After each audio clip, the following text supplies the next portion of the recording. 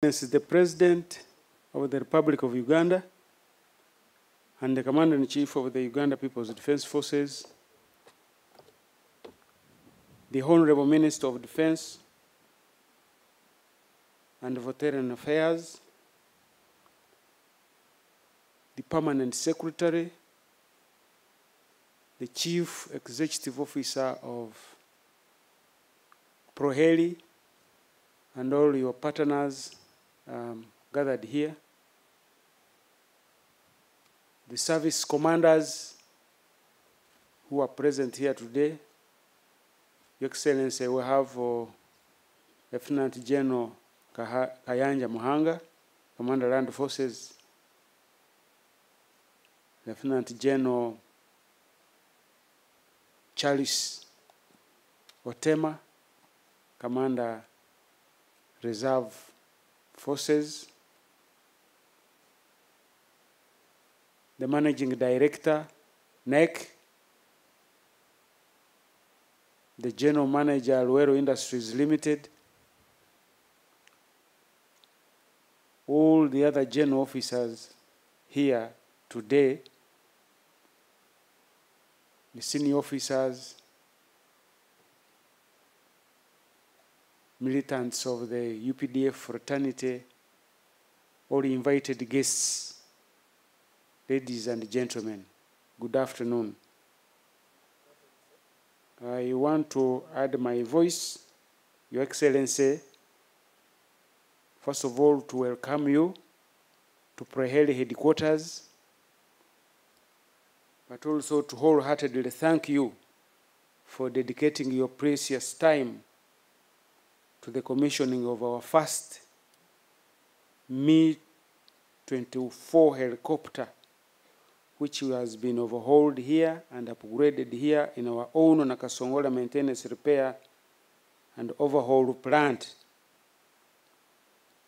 Your Excellency, today here, our Ministry of Defense and Veteran Affairs and UPDF partners, that's Proheli International Services Limited, a joint venture between Luero Industries and Bosase Logistics, are ready together with NEC to deliver this helicopter fully overhauled and upgraded. Congratulations, Proheli. Hongera sana. It is a landmark in the history of the aviation of our country and our own defense industries because it is the first helicopter of this very type to be overhauled and upgraded here in Africa south of the Sahara. We truly attach great significance to the occasion and thus have all the reasons to thank Your Excellency, like others have mentioned, for your visionary leadership and guidance to constantly give us and guide us. And this is the reason we are witnessing the fruition of this very facility that you commissioned in January 2022. Your Excellency, with this facility, we are now able to offer technical services for sustainment of our air assets of the Ministry of Defense and other clients within Africa and beyond. Indeed, they are already showing interest. Uh, for us who have been moving around, they have been asking about this facility. Your Excellency, this facility comes at a time when we are very firm in Your Excellency's guidance on the workability of the doctrine of the tripartite, that any genuine assistance must seek to build internal capacity like we are witnessing today. You heard that 18 of the technicians working on this in this facility here are our very own from the Air Force. of Uganda People's Defense Forces. This assists build internal capacity in the area of defense, military security capabilities enhancement. Your Excellency, with the unwarranted interference in global free trade, leading to scarcity of spare parts, rampant bogus parts on the market, and reduced air serviceability that we were witnessing, you guided us on the need for self-sustainment, and as they say, as you commissioned the first aircraft helicopter to be overhauled from here, the rest is history. Uh, General Mugira and the Chief of Staff, um, Air Force, dwelt on the, on the uh, advantages of having such a facility here. I would just like to point out the biggest takeaway for UPDF and the Ministry of Defense from here is self-reliance. Self-reliance that we can no longer be bulldozed around because we have our own facility here to use to keep us in the air. Obviously, the second biggest takeaway is combat readiness because of aircraft availability due to the reduced turnaround. This is another very, very um, big achievement. You can imagine taking our aircrafts to Belarus or wherever, and they are there for two years when we have work for them here.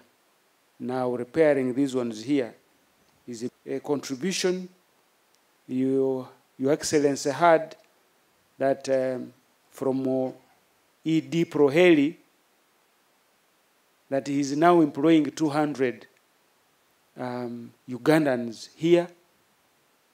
And uh, this is uh, another big uh, achievement for us because it plays into the broader economic um, expectations of Ugandans. Your Excellency, this facility will also be available to our brothers in need of the same services, and this certainly promotes our defense diplomacy with these other countries that we will be dealing with to bring um, uh, their own aircrafts here for overhaul. Your Excellency, allow me to thank a number of like-minded patriotic stakeholders who have been crucial in delivering our desired objective. And uh, I would be um, I would have uh, robbed you as Excellency the chance if I don't put you as number one on the people to thank because of the strategic guidance and uh, keeping in touch with these partners with whom who have made us able to bring this facility here. I also want to thank the Minister of Defense and Veteran Affairs, the Permanent Secretary, Minister of Defense and Veteran Affairs, the UPDF fraternity, especially the Air Force, who have been keen on what is going on here because the instance of keeping, of, of, of, of, having these aircrafts is air safety.